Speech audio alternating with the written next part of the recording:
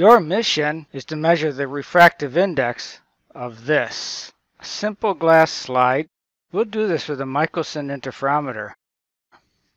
What needs to be done here is a lot like a more familiar experiment for many physics majors, and that's measuring the index of refraction of a gas using a Michelson interferometer. In that experiment, a Michelson is set up. You have mirror 1 on the short leg, mirror 2 on the long leg. Laser beam comes in, it hits a beam splitter, goes to the two mirrors, bounces back, and heads onto a screen where, after being expanded, you can see fringes of some sort, whether they're bullseye or parallel.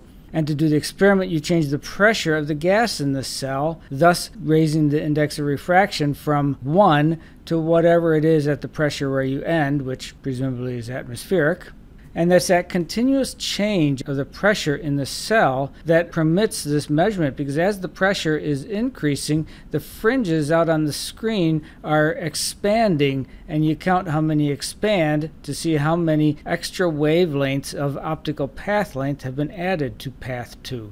In our experiment, where the sample isn't a gas that you can continuously change just by bleeding it into a chamber, but is rather a solid, we have to think of a different approach. The glass thickness does determine the final phase out at the projection screen, and if the thickness changes, the phase out of the projection screen will change. So how are we going to do this? So to do this experiment, I propose that we put the slide in the path of the laser beam and then slowly increase the thickness of the glass and count the fringes as they pass by. Smart. So I'm going to use a rotation stage from Newport. This is model 472. It includes a micrometer adjust with a vernier scale that rotates the stage very slowly. And on this stage, we will put our sample. I'll mount the glass slide on this machined aluminum holder. It has a slot down the middle. The slide fits right in there and set screws will make it tight. And I set it on top of the rotating stage mount so I can turn it when I turn the micrometer. Using the rotation of the glass as the means for changing its thickness, a little analysis on optical path length in the interferometer should result in the index of refraction of that glass. Glass has a thickness capital T.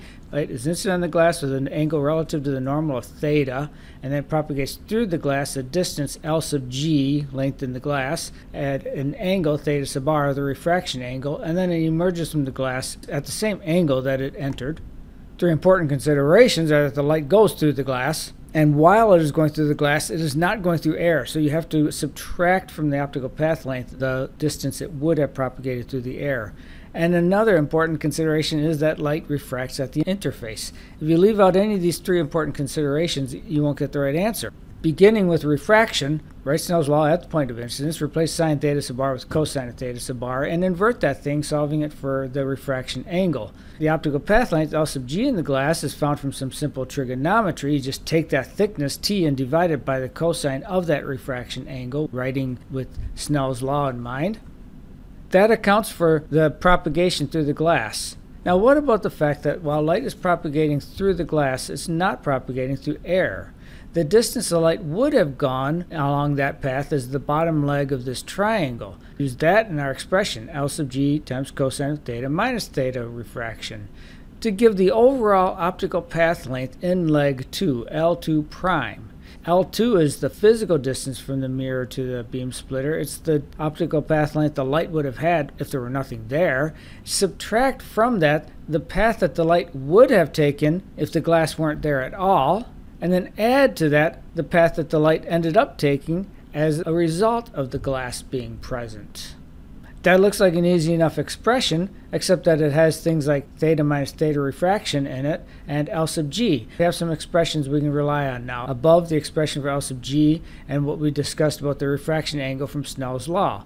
So if we put those things together in this expression and do a little bit of algebra, it's just about two lines of algebra to come up with this expression for the optical path length along leg 2 in terms of the tilt angle of the glass and the index of refraction. How do you turn that into an experimental result? you have to consider that difference in optical path length between the two legs, L1 and L2. Call that 2 times L2 prime minus L1. The 2 is there because light goes down from the beam splitter, hits the mirror, and comes back, so it goes through each path twice. And as you rotate the glass, there'll be a change in optical path length difference. Delta, delta OPL. So it's that expression 2 times L2 prime minus L1 at the end of the rotation minus what it was to start with. If that change in optical path length difference equals one wavelength of light, then one fringe will pass by out on the screen. If it's a bullseye, they will be expanding from the center of the bullseye. If they're parallel fringes, they'll just be passing by from left to right, top to bottom. So overall, the change in optical path length difference is the number of fringes times the wavelengths. And we'll set that equal to this f of theta, final minus initial, where f of theta is my abbreviation for L2 prime minus L1. But I need an expression for f of theta. So take everything that we know and do a little more algebra, and you can come up with this expression for f of theta. That's L2 prime minus L1, using everything that we worked out from Snell's law and the triangles. Calculate of theta with the final theta that you end up with and with the initial theta that you started out with. Count the number of fringes that pass by, that's big N, and from that calculate the refractive index little n. Easy. Uh-uh. This is probably the most transcendental equation you've ever seen. Look at where this index n that you want to solve for is buried. Inside of a radical, inside of an arc cosine, inside of a cosine and then outside of the cosine and inside this radical, have a good time inverting that equation. Well, I won't. I'll resort to numerical methods. Basic approach is measure the number of fringes, big N, and then calculate what big N lambda should be for a whole table full of little n values, and find the value of little n that best matches n lambda. I have this little MATLAB code that pulls off that stunt fairly well. First, the user will input the thickness of the glass and the initial and final angles in degrees and the number of fringes that were observed and the wavelength of the laser. If you type help rotating Michelson, it'll print this information. First, convert the angles into radians. And we're going to do 10,001 steps, define a whole array of refractive indices n using Linspace, ranging from 1.3 to 2.2 and 10,000 steps. There's going to be several vectors, and they should all be initialized. They don't have to be, but it makes the code run more efficiently because then the vector size doesn't keep changing. The thickness and the wavelength have to be in the same units. So let's convert wavelength from nanometers into millimeters. Now, I learned how to program in the 80s, so when I write a computer program, it looks like Fortran, and it's very loopy. I have a for loop. First, calculate f of theta for the whole table of refractive indices from 1.3 to 2.2.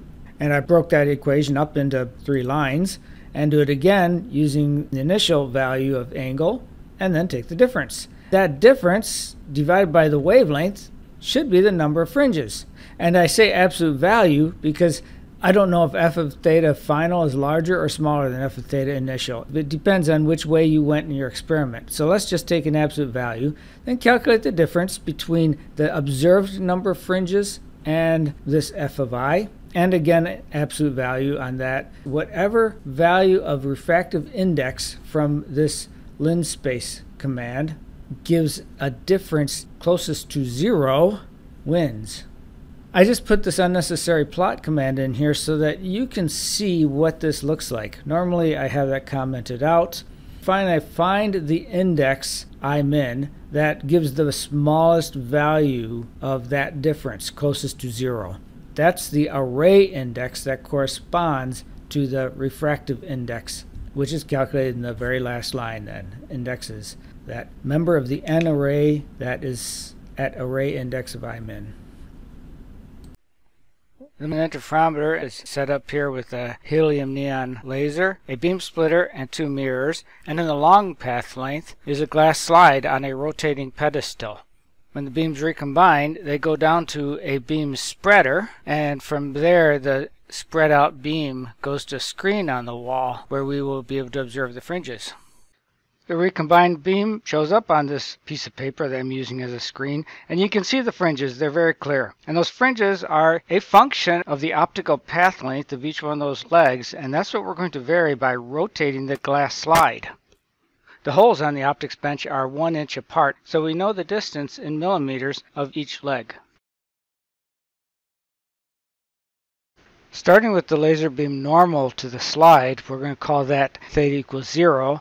I'll start to rotate it slowly and we'll count the fringes going by.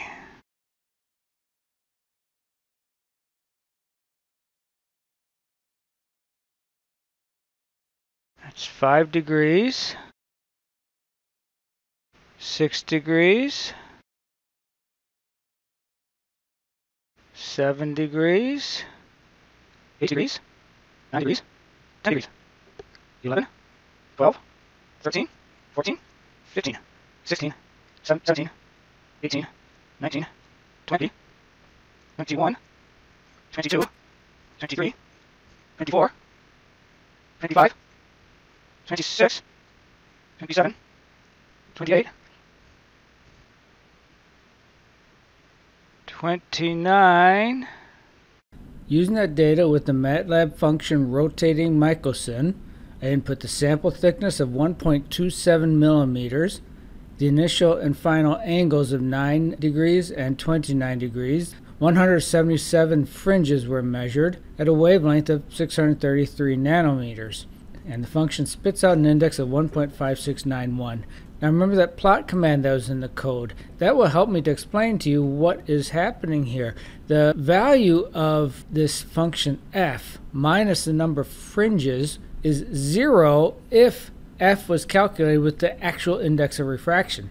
So graphing f over the entire array range versus the refractive index for each one of those array elements will reveal the true refractive index because that function hits zero at the refractive index. By using absolute value signs, it's a little easier to see. Instead of this passing through zero, it bounces off of zero at a value of about, oh, that looks like 1.5691. You can look up really close and actually see that that's in fact where it bounces off of zero. It's worth benchmarking all of this as well. My student from a few years ago, Zach Kellner, did this experiment first and actually developed this method of using the rotating sample on the Michelson interferometer for us to use in the future. And he tested it with Sapphire. The book value index for Sapphire is 1.7659 for ordinary rays, and it's 100 oriented with a polarized laser beam, so that's what I will expect. Zach concluded that the index of refraction from his measurement was 1.80 plus or minus 0.05. Now this brings up an important thing as you do your experiments, the uncertainties need to be analyzed and minimized. Perhaps you can get smaller than 0.05 with repeating your measurements and averaging and being meticulous and careful with the counting. Certainly don't do it the way I did it by video recording the fringes going by and then attempting to count them. Be sure to avoid micrometer backlash because that adds a miscount to your number of fringes. And avoid regions where counting is difficult, such as near the extremes of 0 and 90 degrees. I went from 9 to 29 in my measurement. Perhaps 9 was too close to 0, and maybe I should have started at 20 and gone to 40 or 50. Okay, that should warm you up for doing this experiment. Everything's totally taken apart and disassembled, and you need to go in the lab and find the parts and do this experiment. Don't just measure a piece of glass or the piece of sapphire. Do something interesting and new for the rest of us to look at.